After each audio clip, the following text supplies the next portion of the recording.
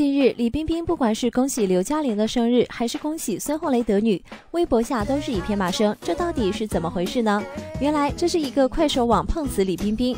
十二月十七日，该快手主播在户外直播的时候遇到了某位明星，他想走近去看是哪位大明星，结果被明星的保镖给拦住了，后来还与保镖发生了一些口角。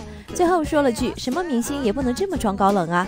结果保镖说是李冰冰，不过这到底是不是李冰冰，当时也没说清楚。于是乎，这位网红的粉丝们就直接去李冰冰的微博下开骂。原来李冰冰十六号转发了一条关于孙红雷喜得千金的微博，评论才五千多，结果直接被道家军轰炸到两万多。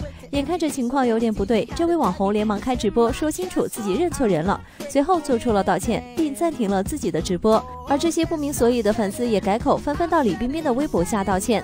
这一幕真是让人觉得很无脑。李冰冰工作室在十八号凌晨也发微博称：“愿我们每一个人都能成为内心澄净、拥有判别真相的能力，不盲从舆论、谨言慎行的人，不做网络暴力的参与者。”